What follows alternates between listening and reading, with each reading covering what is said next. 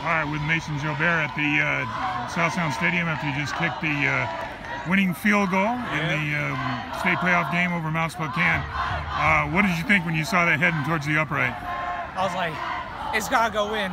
I, I gotta win this. and you did, and you had two blocked earlier. What happened on those on the extra points? Uh, one just didn't get down, and one was one the guy was just really tall. He had he must have had a vertical of like three feet because Yeah. he was jumping high. so you got up and knocked it down. Have you ever done anything like this before? Uh,